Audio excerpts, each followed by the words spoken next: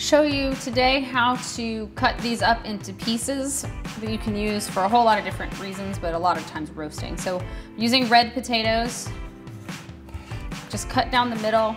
See, it's got a little bit of a, of a spot. It's not as pretty. Just cut that off. No big deal.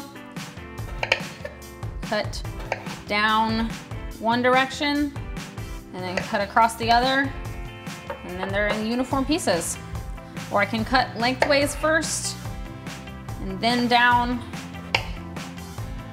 crossways. And again, pretty uniform pieces. That's our red potato pieces.